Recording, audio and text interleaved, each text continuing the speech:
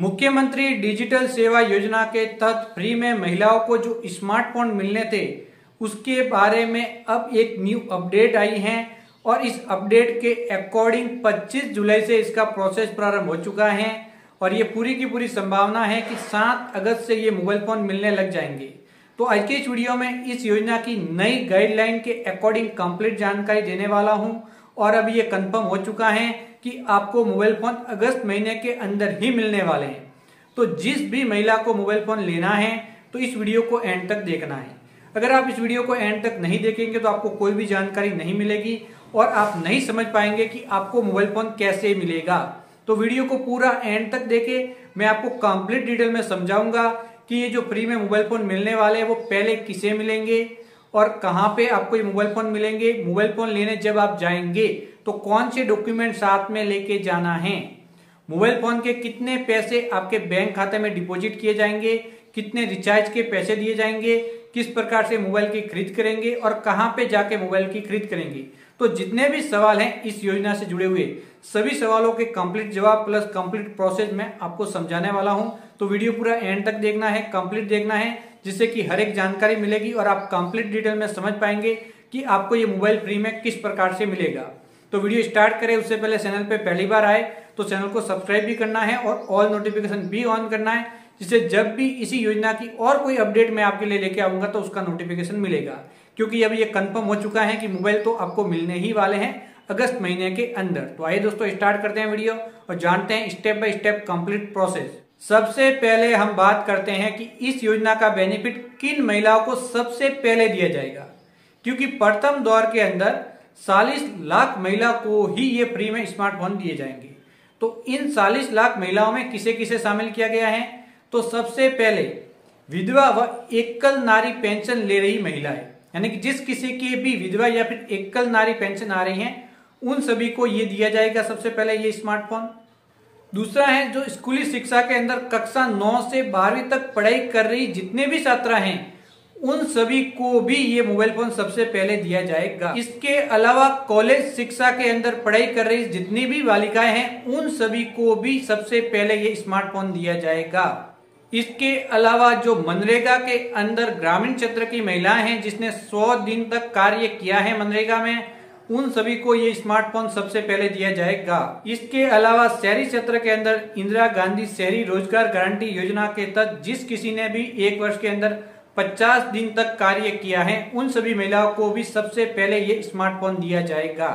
इसके अलावा एक महत्वपूर्ण बिंदु और है, जिस किसी भी लड़की की एज 18 वर्ष से कम है, उन सभी को जो स्मार्टफ़ोन दिया जा रहा है, उसके लिए उस लड़की को, उसकी माता का आधार कार्ड व माता को साथ में लेके जाना होगा, तभी उसे ये स्मार्टफ़ोन दिया जाएगा। इसके अलावा अगर कोई समस्या आती है तो 181 पे कॉल करके आप शिकायत भी दर्ज करवा सकते हैं मोबाइल लेने में किसी भी प्रकार की कोई समस्या आती है तो। तो ये तो होगी पात्रता की बात। तो यहाँ पे बताया गया है कि डीबीटी के माध्यम से मोबाइल फ़ोन की राशि व सिम कार्ड का वितरण सात अगस्त से प्रस्तावित है, यानी कि सात अगस्त से ये मिलने लगने की पूरी की पूरी संभावनाएँ हैं। अगला पॉइंट आपको मोबाइल फ़ोन लेने कहाँ पे जाना होगा? तो पहले जो ग्राम पंचायत स्तर पे कैंप लगने वाले थे, वह अभी नहीं लगेंगे। अब ये कैंप जिला स्तर व ब्लॉक स्तर पे लगेंगे। तो हर एक ब्लॉक स्तर पे एक कैंप लगेगा, वहाँ पे जाके आप अपना मोबाइल फ़ोन लेके आ सकते हैं। मोबाइल फ़ोन का जो शिविर लगेगा उसके अंदर आपको कब जाना है? तो यहाँ पे शिविर का समय है सुबह दस बजे से लगा के शाम छह बजे तक। सोमवार से शनिवार तक ये लगेंगे। रविवार को कोई भी कैंप नहीं लगेगा। अगला पॉइंट आपके क्षेत्र के अंदर कैंप कब लगेगा? तो इसकी सूचनाएँ अलग से प्रसारित की जाएगी। तो उस समय आपको पता लग जाएगा कि आपके क्षेत्र का कैंप कहाँ पे लगा है वह कब लगेगा। अब जब आपके ब्लॉक स्तर पे या फिर आपके जिला स्तर पे कैंप लगेगा उस समय आपको वहाँ पे जाना है। वहाँ पे जब भी आप जाएँगे तो अपना जन आधार कार्ड आधार कार्ड साथ में लेके जाएँगे। साथ ही साथ जब आप वहाँ पे जाएँगे, उस समय सबसे पहले आप वहाँ पे जाके एक मोबाइल फ़ोन की खरीद करेंगे।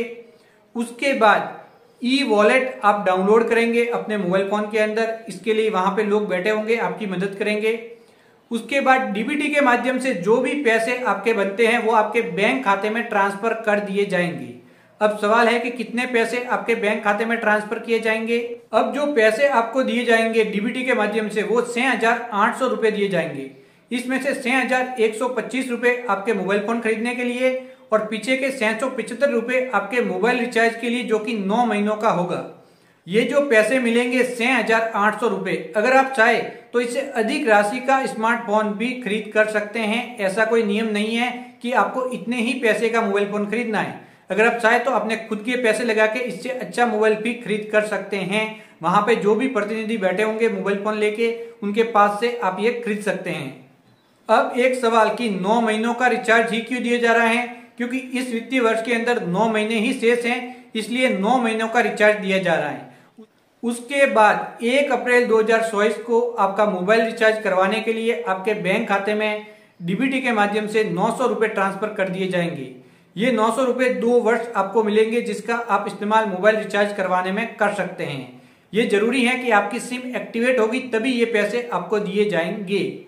जब आप स्मार्टफ़ोन की खरीद करेंगे, तब जियो, बीएसएनएल, वोडाफोन, एयरटेल, इनकी सिम खरीदनी होगी। अगले बहुत सारे ऐसे बिंदु हैं जिसको कि एक आम जनता को जानना ज़रूरी नहीं है, लेकिन कुछ एक और बिंदु हैं जो कि मैं आपको बता देता हूँ।